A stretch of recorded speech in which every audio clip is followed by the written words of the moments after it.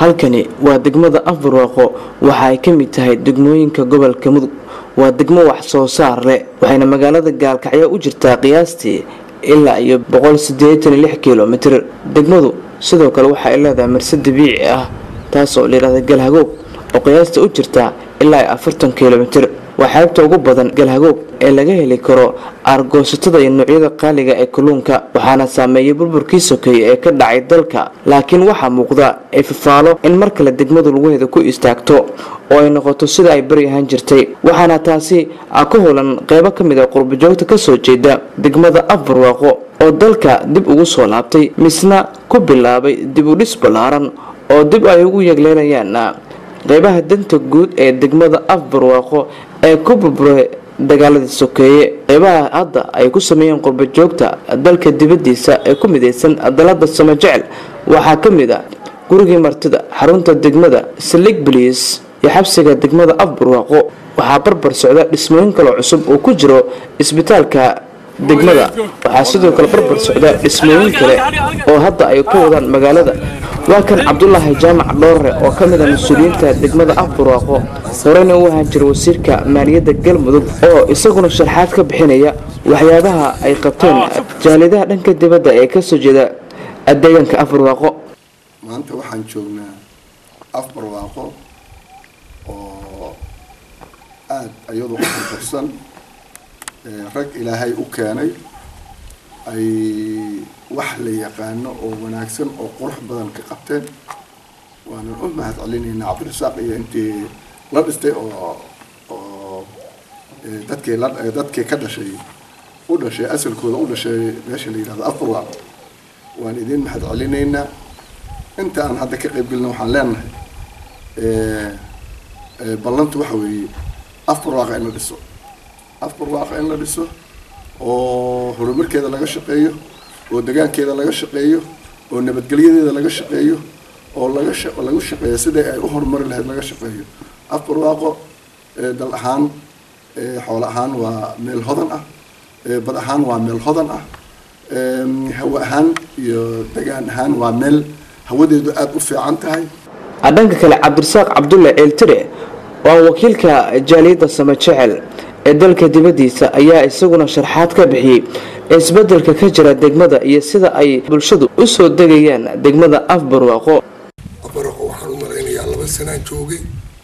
Hawsha dadweynaha dibadda iyo gudahuba ay ka qabteenna saaka quruxdeedu waa ka muuqanaysaa waana u mahad celinayaa waxaan rabaa ummadda u dhalatay iyo ninkii kaloo soomaaliya oo danaynaya aburwaaqo inay guri ka dhistaan oo degaan oo ay nooleeyaan.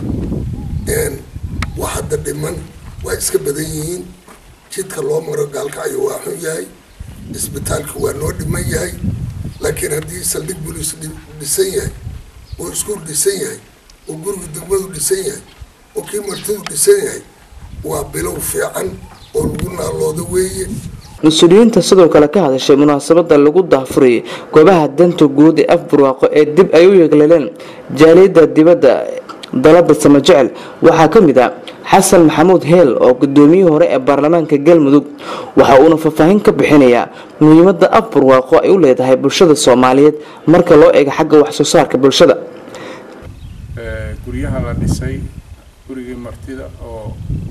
xaqiiqda markaan ka hadlo xoogogaal badan baanu ahay galmudug meeluu ka dhisan yahay aysan jirin oo guriga martida ah.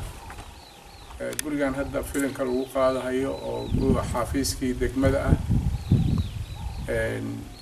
stationkii booliiska iskuulka iyo haddeeroo la dhaga dhagax dhigi doono insha allah. Isbitaalkii degmada degmadana waxay ku taal meel fog oo aysan istrateejia oo aysan u dhoweyn rugaha caafimaadka.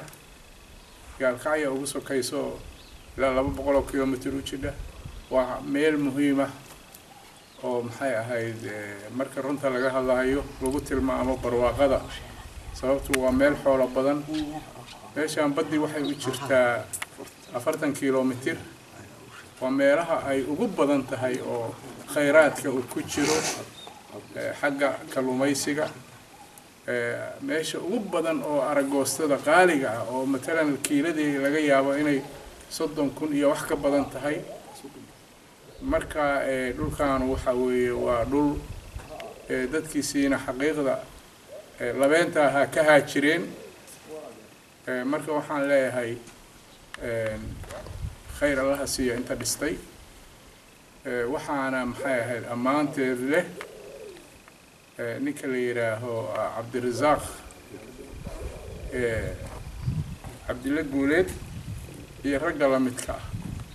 Raggii ka qayb galay waxaa laga yaabaa inaan xoogaa xogogaal u ahay sida ama qurba looma dhammayn xaqiiqda. Markaan runta ka hadlo intii laakiin guntiga u xiratay aada iyo aad bay maaragtay u mahadsan yihiin dhanka kale waxaa si weyn ugu xeeldheeraaday isbeddelka ay soo martay afbarwaaqo nabadoon maxamed axmed cumar oo loo yaqaana jagaxiir oo ka mid a waaye jooggii hore ee degmada afbarwaaqo afbarwaaqo waxaad malaynaysaa jagaxiir asagoo toban iyo wax yar jir uu ka tegay? Maantana waa dhex taagana maxaad maha ay keenaad u malaynaysaa hududigaa ku duugan qof kastoo taga saas dhoorxu waaga oo id buu ka tagay dhoorxu wey midka saaga taagan oo leh. Haddii ilaahay kuu leeyahay awbarwaaq meel aan nin walbaa meeshuu ku dhashay iyo dalkiisa meel aan ahayn oo ku dhasanaya ma jirto. Yurub jir meesha rabto jir america jir australia jir. Haddii ilaahay kuu leeyahay meel alla meesha rabtaan caalamka yani shiino oo ah yani asia meel alla meesha shanta qaaradood meesha rabta ka jooga africa waxa weeye nin walbaaba qolo walbaaba waxay leedahay asali meeshay u leedahay bay u leedahay.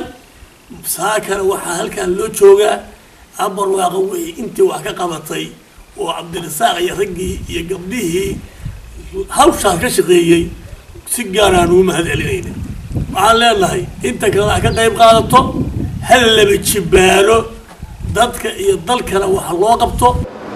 Waxaa isna dhankiisa ka hadlay mid ka mid a waxgaradka degmada afbarwaaqo oo layidhaa ducaalo shiro kulmiye dhaladii caynadle. Waxa weeye waa dhul cusbadu iska taallo oo maanta haddii ilaahay kuu rooyahay dadkii shaqo yaqaan uu maanta adduunka qaybo badan uu ka qaadanaha marka waxaan dhulka marka waa dhul waa dooxa gol geeskiisa ee qoraxsime weeye dhul ballaaran oo haddii ilaahay kuuna dooxadii iyo haddii ilaahay kuuna ceeshkii caynadla iyo taaloola iyo afbarwaaqa iyo haddii ilaahay kuu rooyahay ceeshii ay kaabiga u tahay. Marka meeshaas waxaa weeye meel aad iyo aad u wanaagsan. Sidoo kale munaasabadda waxaa ka hadashay abwaanad cureeji goley oo ka mid ah abwaaniinta soomaaliyeed. Oo iyadoo dhankeedana sugaan ku cabirtay waxqabadka degmada oo makatira reer afbarwaaqo ayaan maxayta la soconnaa. Meeshaani waa deegaanka afbarwaaqo. Waa dooxadii caynadle waa dhanadii cusbada ayaan kor taagannahay. Ilaahay baa mahad leh. Dalkayagii sharafka badnaa iyo haybadii dhismaha dalka ayaan rabnaa haddii ilahay idma inaan u istaagno dhexdana u xiranno. Waxaan leenahay soomaali allaha mideeyo allaha israaciyo. Aan leeyahay dhulka in yar baan rabaa inaan sheego dhashanow dhulkeennow dhiigga laygu shubayo.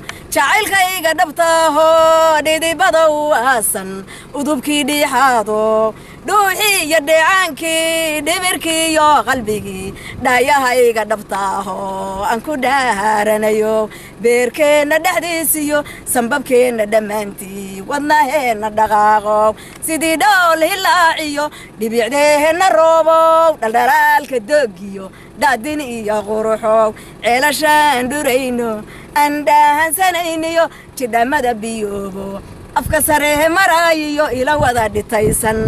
Dhoobadii iyo camuudii dhanadii iyo dhodidii dhagixii adkaa iyo dhimankii dhex jiifo dhaameel hasheen iyo dhudidii lo'aad iyo fardihii dhilnaayo dhexdamada gilamoodiyo dhagayare arigii hooyaday dhool iyo abbahay dhiirane dhulkay igu dhaaleen oo igu dhowrayeeno soomaalidan dhammaanteed dhaxalkeedii rumaado la dhammaystirayo haddii aanan dhiman waa ku dhiisi doonaa ugu dambeyntii mas'uuliyiinta ayaa dhagax dhigay cisbitaalka degmada afbarwaaqo oo hore aysan u lahayn degmada waxaana dadku ay u aadi jireen meelo ka fog deegaanka oo qiyaastan u jira ilaa boqol sideetan kilomitir waxayna taasi keentay in hooyin fara badan ay u mool raacdaan bahay caafimaad awgeed xasan cabdiraxmaan aadan xasan fantastic telefishinka caalamiga kalson magaalada gaalkacyo